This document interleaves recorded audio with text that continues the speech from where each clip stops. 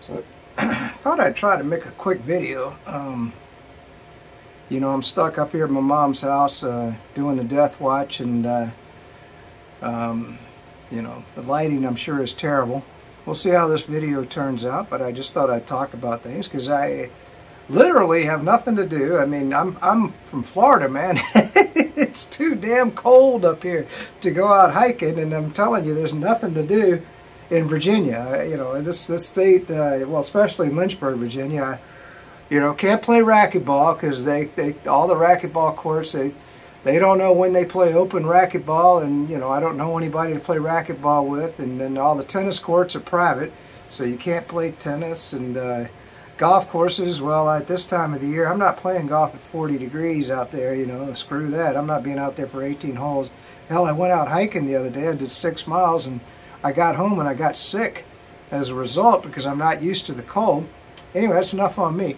So let's just talk about things. We know that uh, Trudeau's gone full-fledged uh, uh, Hitler on the uh, Canadians, and uh, you know I, I, feel sorry for him. I, I, hope he doesn't seize their bank accounts and uh, tow their trucks and penalize them in ways that a dictator will do. And I hope I hope he pays the price. And you, if you go back in my videos, I I gave my opinion of that whole situation. Um, probably a little bit more vulgar than I probably should have. So that that's a done deal, and uh, I think the Canadians sparked a worldwide revolution. We'll see what happens, and uh, but you know the the purpose of this video is, is is not to talk about well talk about world events just a little bit. Um, you know, a lot of a lot of provinces have uh, given up their their mandates. Uh, political class, uh, uh, you know, they're giving up uh, some of their power, I mean, reluctantly for sure. So we'll see where the whole situation goes. Uh, you know, people against the uh, proletariat or whatever you want to call them, uh, the, the, the, political ruling class. But uh, so, but I, you know, I wanted to talk about history just a little bit because you know we go to these stadiums and uh, and when I saw the you know well, I won't call them friends. I had acquaintances, and I lost a lot of acquaintances because I refused to watch uh, Major League Baseball.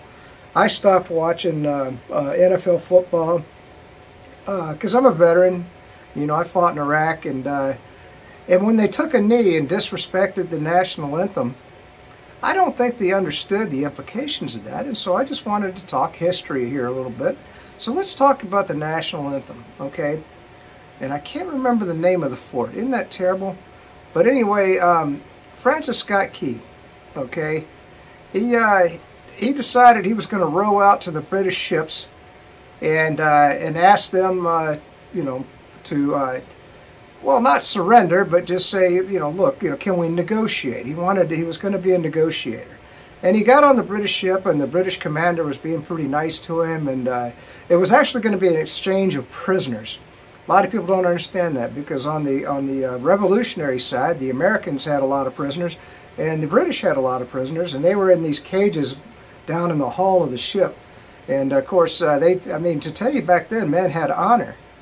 And uh, so he got to go down and visit with the prisoners, and he told them, he says, "You're going to be free soon. We're going to do a one. There was going to be a one-to-one negotiation, not not this crap that Obama did, giving away five terrorists for one American." You know, let's not even talk about that stupid stuff. But no, it's going to be a one-to-one -one exchange. And uh, so um, he came back up and he says, yeah, I agree to your terms. Let's exchange the prisoners at least, or get them out of the cages in the hull of the ship. And the British commander said, well, that won't be necessary at this point. Francis Scott Key didn't understand what was going on. He said, well, what are you talking about? I thought we had come to an agreement. And uh, the British commander looked at him and he said, uh, well, he says, look out to sea. Because there was, I think there was only like 10 British ships. Uh, that's what I've heard in history. I mean, who knows? I mean, you know, that was 200 and some years ago. I mean, the victors write the story. You never know. And, uh, but anyway, he looked out to sea and there was, there was 100, 150 ships, British ships coming across the sea. Uh, just came within sight over the horizon. And uh, the British commander, he goes, uh, you have to surrender the fort. Uh, and of course, there was a flag in the middle of the fort. Uh, and I'll get you a, a, link to what the name of the fort was. Uh, and so they, they came across, and the British commander said, uh, either surrender the fort or we're going to bombard it. And Francis Scott Key told him, he says, well, there's women and kids in that fort. You're gonna you're gonna open up a bombardment with all these cannons? And he says, unless they take down the flag. He says they have to take down the flag, otherwise uh, we're gonna we're gonna blow the hell out of the fort.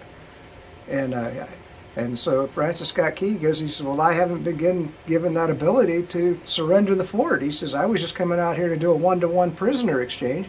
And uh, so the British commander goes, well, I'm sorry. I'm under my orders, because uh, I guess a British admiral had come in on the ships. He says, uh, and so they opened fire that night. And I hope you can kind of look back on the Star Spangled Banner.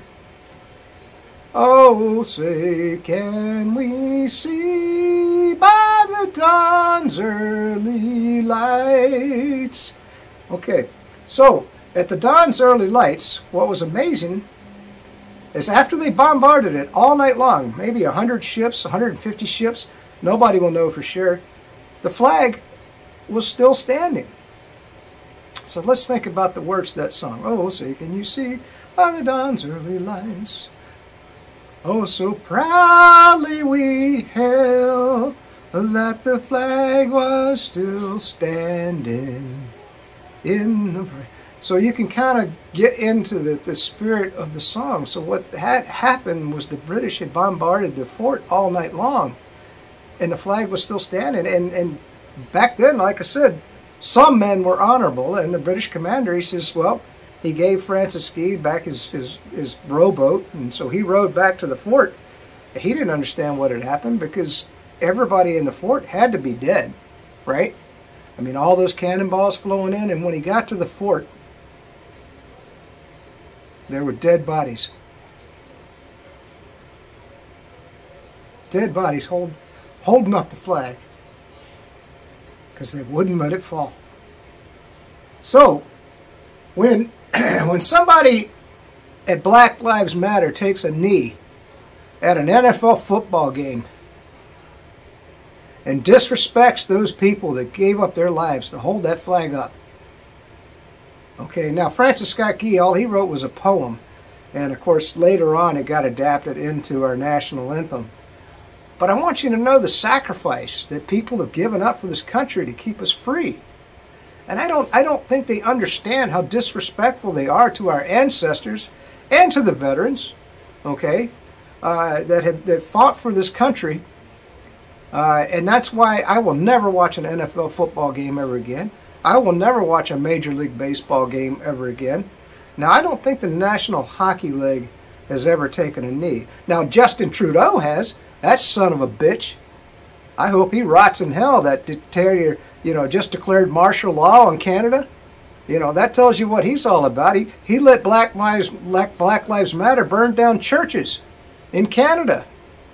Do you see where the left is coming from? Where these progressive idiots these dictators, they don't care, man. That's it. Peace out. Stay free. You know what? I, am going to do the mantra on this video. It's good to live in the free, well, until I get out of Virginia.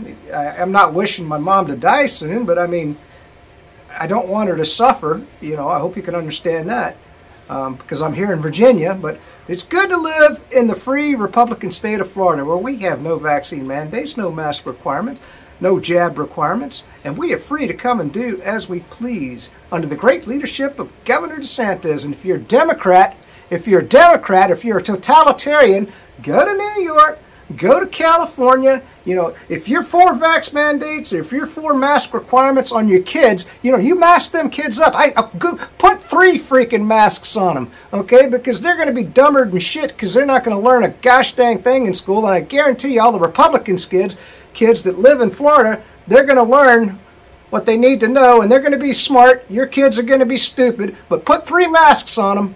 Peace out. Stay free.